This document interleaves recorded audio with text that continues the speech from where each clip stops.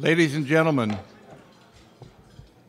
given our need to get back in the uh, room sharply at 2 and uh, given the importance uh, of having uh, ample time for our speaker today, we're going to start just a couple of minutes uh, earlier while things are still being uh, served. A graduate of Smith College and Yale Law School, a judge of the U.S. Court of Appeals for the Fifth Circuit since 1979, and chief judge for seven years, and former chair of the Executive Committee of the Judicial Conference of the United States, Carolyn Dineen King honors us with her presence here today. The many highlights of her judicial career also include her receiving last year the Edward J. Devitt Distinguished Service to Justice Award. Two years earlier, the ABA honored her with the Margaret Brent Women Lawyers of Achievement Award. Her notable accomplishments as Chief Judge included contingency plans for court operations well in advance of Hurricanes Rita and Katrina, her creation of an emergency coordinator post, and her leadership in getting the courts back to their work after Katrina struck. When that happened, I remember looking at the Fifth Circuit's website and being impressed by the care the court was taking about such critical matters as calendar deadlines and extensions of time. Judge King is a native of Syracuse, New York, and in 2006, she received an honorary law degree from Syracuse University. At the earliest chance we had, after she finished her service as Chief Judge, we invited her to join the Institute's Executive Committee. She participates actively and devotedly, as we knew she would, given her previous wise leadership as the chair of our Committee on Membership and as an advisor on products liability and transnational insolvency. She is an exemplar of the advice she gives to others Whatever you do, do it with enthusiasm. Give it all your effort and do the very best job you are capable of. In her tribute to Judge John Minor Wisdom, she referred to his zest for life, which she shares, and said that to bring these dispositions that are lovely in private life into the service of the law, this has been the special hallmark of his entire career. I'm happy to borrow her words in service of a like description of Carolyn. Judge King is married to Thomas M. Reavley, an ALI member and senior Fifth Circuit judge. Her talk today will focus on the appointment process of federal judges with particular focus on the intermediate appellate courts. Please welcome our distinguished colleague, Judge Carolyn Dineen King.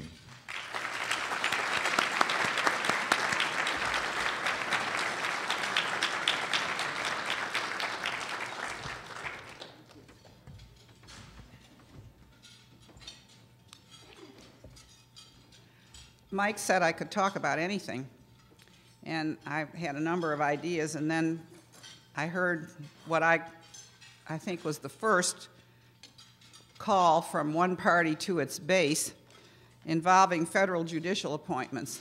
We're in the middle of a political season, and I thought, that's what I want to talk about. That's timely. What I'd like to do this afternoon is to examine the challenges to judicial independence posed by the increasing politicization of the appointment process for federal judges that has characterized the last 30 years or so. I'd like to pay particular attention to the significant difference between how these challenges play out at the Supreme Court level and at the level of the intermediate federal appellate courts.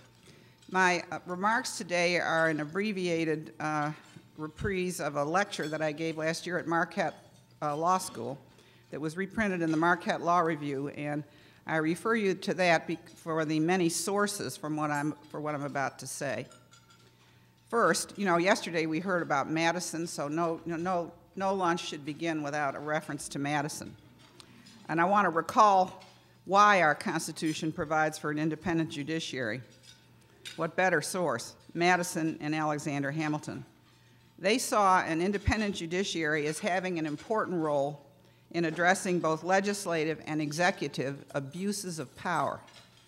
In Federalist 78, for example, Hamilton stressed, and I think these words are just critically important, though individual oppression may now and then proceed from the courts of justice, the general liberty of the people can have nothing to fear from the judiciary alone, but would have everything to fear from its union with either of the other departments. Hamilton believed that complete independence is peculiarly essential in a limited constitution, where courts are the only mechanism by which the constitutional limitations placed on the legislature could be preserved. Beyond these institutional dangers, he wrote that judicial independence protects against the additional threats that surges of public opinion pose to the constitutional limitations and to individual rights. Madison and Hamilton emphasized that life tenure and fixed salaries were indispensable for the judicial branch to remain independent and to limit uh, what they called an arbitrary discretion in the courts themselves, uh, what, what Professor Rakoff calls judges making it up as they go along. It was necessary to bind the courts, in the words again of Hamilton, by strict rules and precedents. So, the goal of an independent judiciary, separate from the elected branches, was judges who would not be subject to domination or manipulation by the elected branches or by the shifting passions of the people at large. And the judges themselves were to be constrained by the very laws they were to enforce. In the words of a modern day justice, Stephen Breyer, judicial independence revolves around the theme of how to assure that judges decide according to the law rather than according to their own whims or to the will of the political branches of government. Professor Dennis Hutchinson of the University of Chicago, friend of many in this room, I think, has identified the key premise of Breyer's succinct formula. Judicial independence is not an end in itself, but is an instrument in service to the rule of law. Judicial independence and the principal end that it serves, ensuring the rule of law, are undermined by the high degree of political partisanship and ideology that currently characterizes the process by which the President nominates and the Senate confirms judges. It, it should be said at the outset, at least to some extent, this is nothing new. At several points in our history, presidents have scrutinized the ideological leanings of prospective Supreme Court nominees with the goal of nominating justices with views compatible with the respective views or perceived needs of these presidents. Uh, President Roosevelt, for example, was particularly careful about the views of the nominees to the Supreme Court and to the intermediate appellate courts after the court's rulings in the early 30s invalidating pieces of the New Deal legislation that the president thought was crucial to the recovery of the nation. The Senate has engaged in the same kind of scrutiny as a part of the confirmation process. And, and I do want to be clear there's nothing inappropriate with political or partisan considerations factoring into the judicial appointment process. You need to realize that, I mean, remember that the, that the framers vested the nomination and the confirmation powers in the elected branches of government. And it's to be expected that the president and the senators would seek judges whose judicial philosophies seem consistent with their own. That said, the last 50 years or so, and the last 30 years in particular, have featured an ever increasing and contentious focus in the nomination and confirmation process on whether candidates for the Supreme Court and the intermediate federal appellate courts are committed, either by reason of their background and experience or by reason of explicit or implicit commitments they have made as a part of that process to particular positions on several politically salient issues, including abortion, civil rights, and the rights of criminal defendants. The force of this change has been particularly felt by intermediate federal appellate courts whose judges had been selected under what was really a more ideological, ideologically neutral system of patronage that generally guided appointments until the 1960s.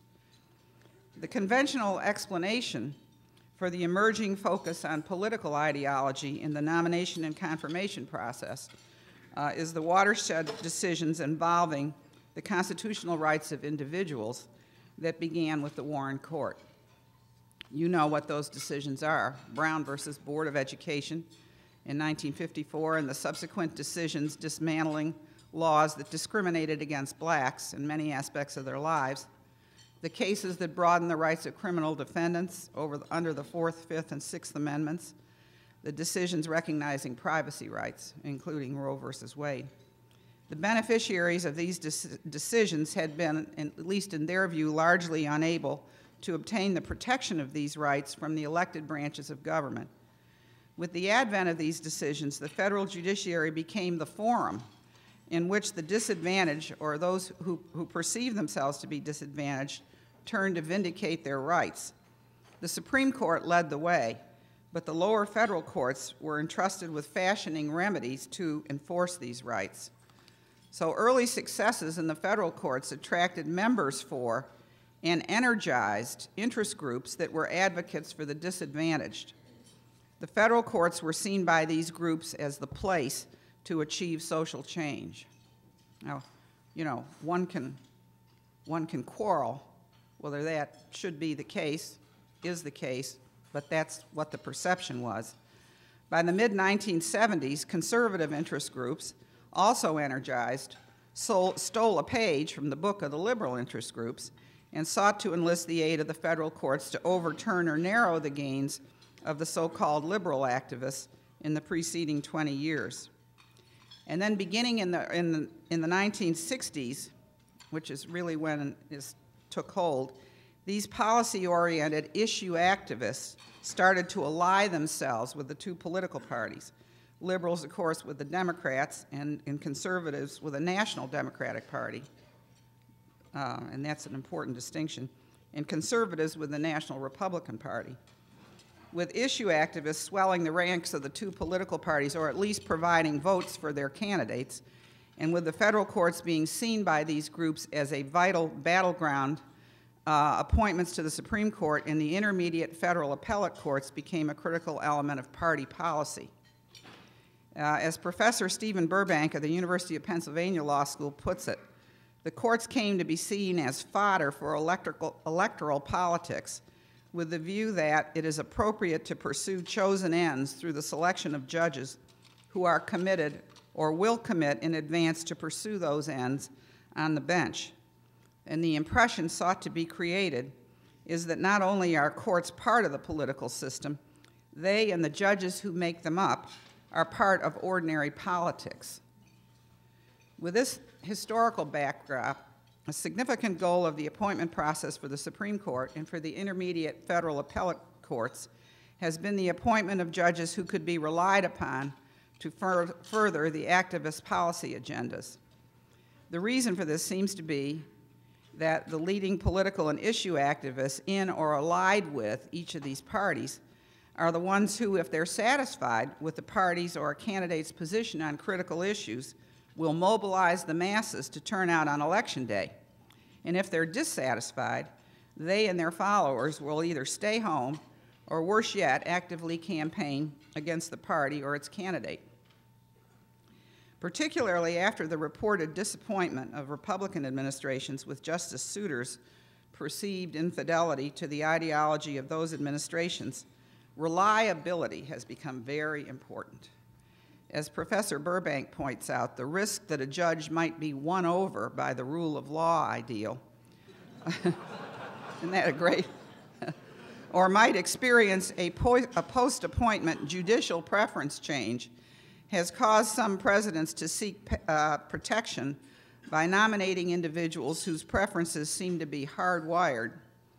For candidates whose views are less certain, the candidate might be, in, in Professor Burbank's words, induced nonetheless to commit to a desired path of judicial decision in advance. Another factor at work in the appointment process is the trend towards selecting nominees for the Supreme Court from the intermediate federal appellate courts. All of us have seen that at work. Well, this has the advantage for the selection process of providing a nominee's track record and information about his temperament, and the advantage for the nominee of providing useful experience. It has the disadvantage of creating an incentive for decisions made with an eye towards advancement. A judge with ambition constantly has his eye on what the present or some future administration or Senate Judiciary Committee would think about a decision under consideration and how the decision would affect his chances for advancement. Several books and countless articles, and let me tell you, they are countless, have been written on the political ideology that each of the presidents, from Nixon to George W. Bush, has looked for in his nominees to the Supreme Court and the intermediate federal appellate courts, and on the degree to which that political ideology served as a litmus test for nominations. And I don't, I don't have the time to go into that today in any detail. Uh, it has varied very much from one president to another, but it is something that both parties uh, bear responsibility for. Generally speaking, the Republican presidents were looking for conservative judges who would reverse or, some, or narrow the policy gains liberals were perceived to have made in federal court litigation in the 50s, 60s, and 70s, uh, and including gains in the area of civil rights and the rights of criminal defendants and privacy rights. To achieve these ends, in the view of Professor Goldman, who has written a great deal on this subject, legislative patronage, political, and policy considerations were systematically scrutinized for each judicial nomination to an extent never before seen. With, with uh, Attorney General Meese's uh, arrival, the, the process began of these very lengthy probing interviews between the Justice Department and White House officials and prospective nominees with the goal of ascertaining in advance how the nominees would rule on political issues important to the administration. And those interviews con continued through the Clinton administration, and they continue to this day. And these selection efforts have been aided by conservative interest groups such as the Federalist Society, which began to develop in the early 1980s. These, the groups have come to provide forums and opportunities for advancement for their members and valuable opportunities for Republican administrations to vet their judicial nominees. The two Democratic administrations in the last 30 years have differed somewhat from the Republican administrations in the way that they attempted to satisfy the party activists. President Carter attempted to satisfy his liberal party base by appointing black and female judges in large numbers, at least as compared with the numbers that had been appointed by prior presidents. I am an appointee of the Carter administration, um, a fourth generation Republican. I might add. And when I told President Carter that, he said, I don't care about your political views, which I have to say was certainly stunning. But he didn't, as it turned out. Like Carter, but, but he, he dealt in mass. He, he, present, he just appointed women and blacks, and that's how he dealt with his uh, activists. Like Carter, President Clinton also sought, sought, to satisfy party activists primarily by diversifying the bench, and he, but he also continued this interview process uh, for the intermediate appellate court judges that began under President Reagan. And I'm, I'm, I'm certain that it's, it's fair to say that both Presidents Carter and Clinton were careful not, not to appoint judges with political views at least that they knew about, on key issues that would be objectionable to the Democratic Party's base. As political factors have come increasingly to bear on a president's judicial nominations, the trend has been mirrored in the Senate confirmation process, which has become uh, much more contentious and featured a, an effort to, under, un, to understand in advance exactly how a judge might rule on particular issues. I need, to, I need to end this part of this description of what has happened with this particular caveat. What may, whatever may have been the commitment of a president to his political base with respect to the political ideology of his nominees, not every judge appointed by that president has fit the description of what he was looking for. Indeed, happily for the Republic, many have not. But it's been clear to me in the last 50 years we've come a long way from the goal of the, of the framers of a judiciary independent of the executive and legislative branches. In the words of Circuit Judge Diarmuid O'Scannlain of the Ninth Circuit, he said, by demanding to know in advance how a particular nominee will rule in a given kind of case, the political branches are exerting precisely the sort of direct control over the judiciary that Hamilton and the other framers sought to avoid with the creation of a separate and distinct third branch. But even without uh, direct or indirect assurances as to how nominees would rule, a highly partisan or ideological judicial selection process conveys the notion to the electorate that judges are simply another breed of political agent and that judicial decisions should be in accord with political ideology, all of which tends to undermine public confidence in the legitimacy of the courts. The loss of public confidence in the legitimacy of the courts, confidence that courts will impartially, in accordance with the rule of law, decide their cases, could in turn undermine compliance by the public with unpopular decisions. Now, having, having described what I think are the causes of the politicization of the appointment process and how it came to function, I'd like to examine the structure of lower court decision making and how it combines with strong partisan or ideological views on the part of some, some of its judges to imperil the fidelity of those decisions to the rule of law. And I'm going to do that by contrasting the way in which the Supreme Court functions with the way in which a large, a large intermediate federal appellate court functions. The current Supreme Court has, takes about 80 fully briefed cases a year. All nine justices hear and decide each case. Virtually all cases receive oral argument at which questions can be explored and alternative outcomes and rationales pursued by the justices themselves. Each case receives a full opinion, and obviously there's concurring opinions and dissents. They're circulated in draft form with the justices examining each critically and asking questions and making suggestions. Now, constitutional scholars and, and even newspapers and people on the street will tell us that there are somewhat consistent voting patterns by some justices in some types of cases coming before the Supreme Court. But there's clearly no such thing on the Supreme Court as clique voting. Uh, every vote is carefully considered. A justice concurring in today's opinion may be dissenting in tomorrow's, even on a very similar issue. The result is that the record in the case, the relevant law, and the resulting opinions are thoroughly vetted by nine of the country's toughest critics. First and foremost, and this I think is critical, the justices are accountable to each other for their work. Once the opinions are released, they are pored over by academics, journalists of every kind and stripe, lawyers, and the public at large. They're held accountable for their work, indeed for their every word. As Chief Justice William Howard Taft remarked, nothing tends more to render judges careful in their decisions and anxiously solicitous to do exact justice than the consciousness that every act of theirs is to be subject to the intelligent scrutiny of their fellow men and to their candid criticism. It does concentrate the mind.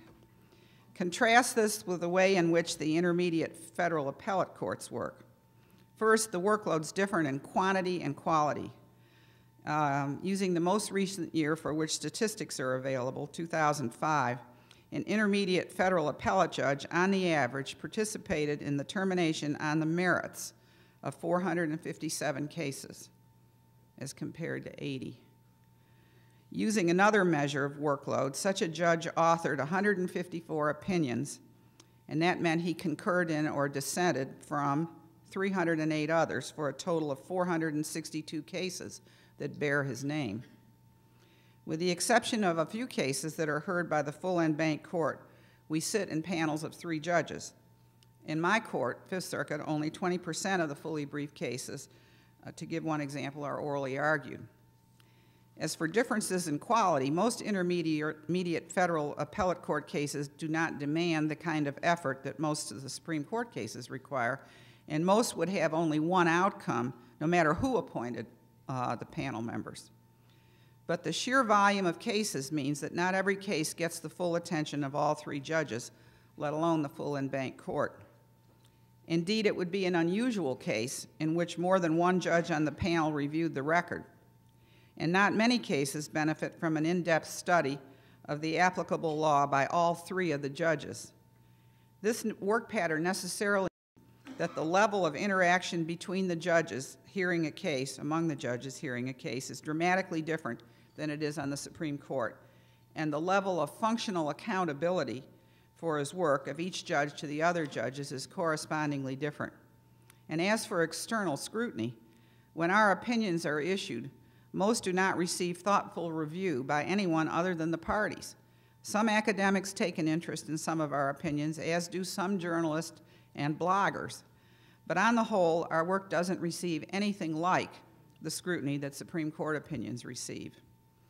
So, what this means is that one or two of what Professor Burbank calls hardwired judges, whether liberal or conservative, and I can assure you they come in both stripes, on a panel can produce a result that is not true to the rule of law, either because it's not faithful to the record in the case or because it doesn't fairly apply the existing law, without that fact being apparent to anyone other than the litigants.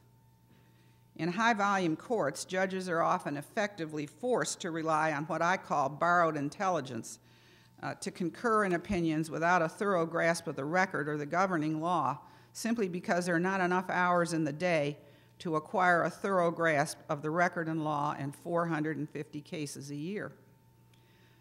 And it's not a big step from there to clique voting. That is, to voting with or at the direction of other like minded judges simply because they share common ideological objectives. Again, sometimes without a good grasp of the record or the governing law.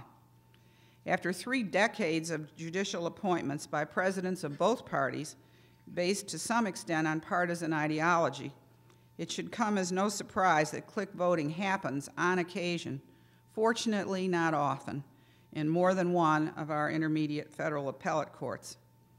Madison, who warned about the pernicious effect of factions in Federalist 10, would be horrified to see them at work in some of our federal courts. What does this mean for the rule of law, for the principle considered so important to the framers that judges are to decide cases according to the law rather than according to their own views of what the law should be or to the will of the political branches or of the popular masses?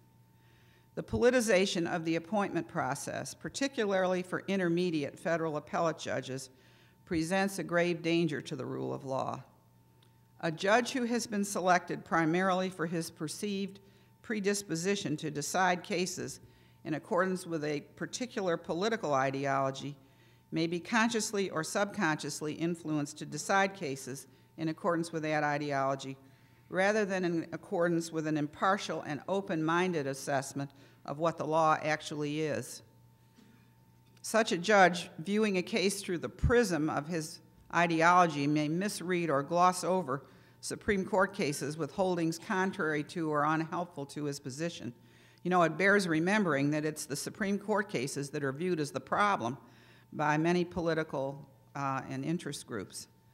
Or the judge may misread the record in such a way as to distort the question presented or to facilitate a preferred outcome. The result in an individual case may be a decision that is not faithful to the rule of law.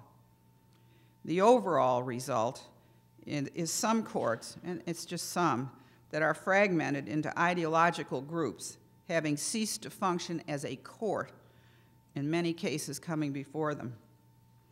And it's absolutely no answer to say that the Supreme Court is there as a constraining force to restore the rule of law to a case in which an appellate panel has not been faithful to the law. The judge bent on implementing his ideology knows that the appellate review of his decision is highly unlikely. As Justice Scalia confirmed in his dissent in Kyles v. Whitley, which is one of the rare modern day Supreme Court cases that solely involves the application of established law to the record, the Supreme Court is not a court of error. And the reality is, as he put it, the responsibility for factual accuracy in capital cases, as in other cases, rests elsewhere, with trial judges and juries, state appellate courts, and the lower federal courts. Instead, they take cases where the law is unclear and need of further development or where the circuits are in conflict. And what that means is that the intermediate federal appellate courts are the courts of the last resort for all but a handful of cases that the Supreme Court will agree to hear. It's precisely that fact that's resulted in the politicization of the intermediate federal appellate appointment process. Political and issue activists understand only too well that ideologically committed judges on these benches can make an enormous difference in the outcome of hundreds of cases each year. And it would be a mistake to think that ideologically committed judges affect the outcomes only in cases that involve, you know, um, abortion, civil rights, or the rights of criminal defendants. My own observations suggest that these judges cast a much wider net. They have strong views, pro or con, on plaintiffs' jury verdicts, especially but not only large ones, on class actions, on a wide range of federal statutes imposing burdens on corporate defendants, on the death penalty, on religion in the schools and in public places, on the proper balance between federal and state governments, and on and on. So, for this political season, if candidates for the presidency of both parties continue as they have now for decades to energize issue activists within or allied with their parties by promising the appointment of judges who will pursue the respective political and ideological agendas of those parties and their decisions, then judicial independence will continue to be severely threatened, and with it, the rule of law in the United States. There was a wonderful editorial in 2005 in the Washington Post that captured it, and I quote The war over Justice O'Connor's successor is about money and fundraising as much as it is about jurisprudence and the judicial function. It elevates partisanship and political rhetoric over any serious discussion of law. In the long run, the war over the courts, which teaches both judges and the public at large to view courts simply as political institutions, threatens judicial independence and the integrity of American justice. That's the end of the quote. And I'll end with a hopeful note. I'm sure you'll be glad to hear that. Uh, Chief Justice John Roberts uh, sent what I thought was a powerful message not long after his appointment about the approach that judges should follow in today's highly politicized environment. In a 2007 interview with Professor Jeffrey Rosen of George Washington University Law School that appeared in The Atlantic, Chief Justice Roberts reminded us that Chief Justice John Marshall's continuous effort to unify his court to urge his court to speak with one voice was based on the recognition that a court so unified fosters public respect for the legitimacy of the court as an impartial institution that rises above ideology.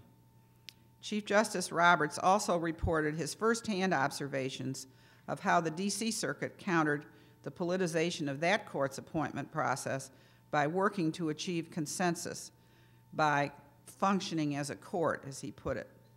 From these models, Chief Justice Roberts observed that a successful judicial temperament is marked by, and I quote, a willingness to step back from your own committed views of the correct jurisprudential approach and evaluate those views in terms of your role as a judge, close quote. By contrast, what he called the personalization of judicial politics, in which judges pursue their ideological agendas at the expense of a unified court, undermines the rule of law and may leave the public with the perception that judges are little more than agents of the political powers that put them into office. If Chief Justice Roberts continues to promote those views, and I would suggest to live by them himself, if, in other words, what he said was not just rhetoric, I am hopeful that judges will aim to follow Marshall's example. By refocusing on functioning as an institution, in the Chief's words, courts can rebuild the institutional legitimacy that has been diminished by the politicization characterizing the judicial appointment process for the last 30 years. Thank you.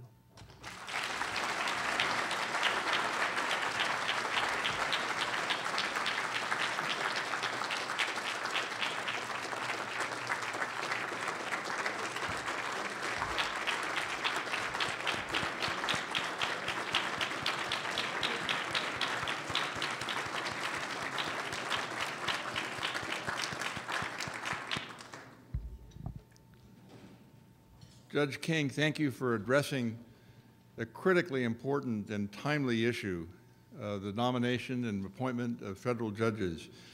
And what is reliable to a president or to a United, States senator may be very different from what is reliable to the public or to the litigants before the court. And the enormous workload, the processes you've described, combined uh, sometimes with uh, unfortunate ambition, are very, very serious problems, and we hope that we'll see uh, maybe the beginning of an end to that uh, politi- politicization that you've described. Thank you so much for your remarks uh, and for your analysis. It's uh, so helpful on this timely issue. And with that, uh, I think we're ready to. Uh, does anybody have the time right now? Is it? Is it? We have a few minutes, I guess. So let's. We're going to start at uh, two o'clock, as I understand it, uh, Lance, with the choice of law briefly uh, issue on the Uniform Commercial Code, and then we'll return uh, to Doug Laycock's marvelous venture presiding uh, for his first time on employment law. Thank you all very much.